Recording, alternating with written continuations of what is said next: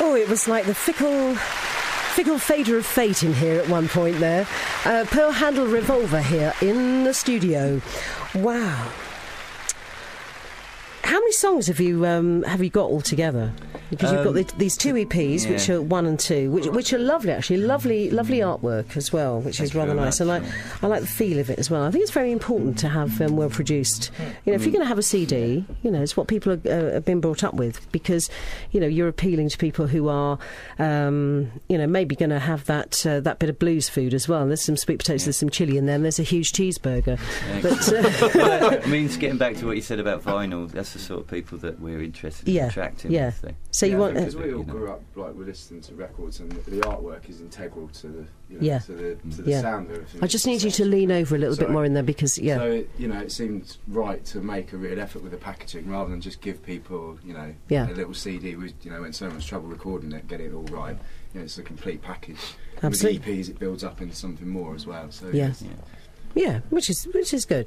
So, what about gigs then, Lee? Because you've been you've been quite busy recently, haven't you? Yeah, we have. We've um, we've been very lucky. We've played some wonderful venues just recently. Charlotte Street Blues being one of them. Mhm. Uh, we've got uh, fantastic li- lined up for everybody on New Year's Eve at Squires in Bedford. Fantastic. Um, uh, being supported by the Seville, uh, Silver Brazilians. Sorry, get that right. Um, but uh, that's really shaping up to be a fantastic evening. We've got a lot coming up for 2010.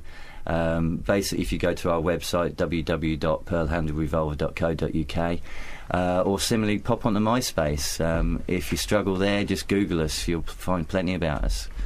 Um, but uh, on there, it's uh, it's basically all all the tracks and listings for various gigs that we've got coming up are, are listed there. So it'd be a great place to find. it. now, you've been flying now for you know sort of a good eight months, and it's it's building momentum. So, what about um, this time next year? What would you like to have achieved then for the band? We're hoping that by this time next year we will have everything in place to do such things as uh, South by Southwest, popping over to America and see whether they like us. We seem to Mhm. get a good reception MySpace wise in terms of American contingent. Mm. Um, certainly, we'll be looking at all the festivals this year, most of which we've applied for, Good. and things are going through. So, fingers crossed. Anybody out there hears us and they want to book us for a festival, we'll definitely be into it. So, I'll uh, fill the give us a camper shout. van. yeah, yeah, definitely. But obviously, we, we, we have toured Germany before, Mhm. not as we are now, but No. in the past. Yeah. Um, so that will be on the cards for next year as well. Sure, and of course the venues there they lend themselves so much to you know the blues. I mean that's Oh, why yeah, Danny absolutely. Bright, all the blues players, you know they're all over there doing those kind of tours Exactly. because yeah. it, you know those venues are out there and that so Mm. that, Yeah, that's they where treat the you very audience well. is. Treat you very well. Absolutely. It's a nice place to play. Yeah, Yeah. receptive audience as well because people are going out to listen to music. They'd find it odd if there wasn't any music in the venue. Quite right. Mm. Quite right. All right, well, we'll have another live one from you then. Okay. Uh, what we're going to hear this time? Uh, this one's a little number that uh, so far we haven't recorded, but it will be recorded very soon. Mhm. Uh, and it's um, this is an acoustic remake of one that we do electrically normally, uh, Mhm. and it's uh, "I Never Liked You Anyway."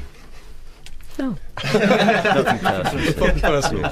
so who did you write this about then? Anyway, no, no, I would actually get into trouble if I Would went you? too in depth there. right. Yeah. Okay. But, Does uh, that worry you? She's out there somewhere. dear. dear. But that's the thing, you see. This is why women do behave the way they do because men are really not very good at saying it face to face. But when it comes to writing songs, they're brilliant Yeah. about it. I Oh, mean, yeah. people have made livings out of it. This is this is how it is. So uh, let's all right. Okay, I didn't like you anyway.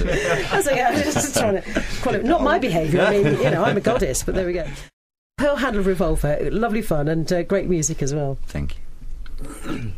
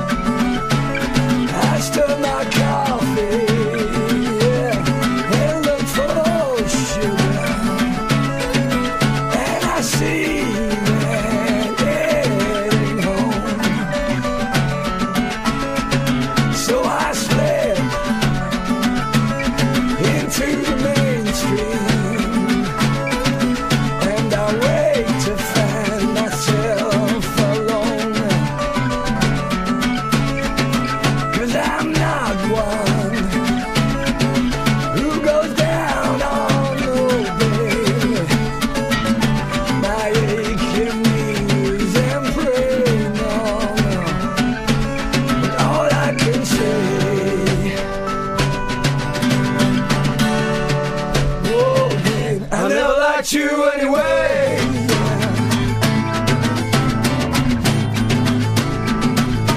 I can say.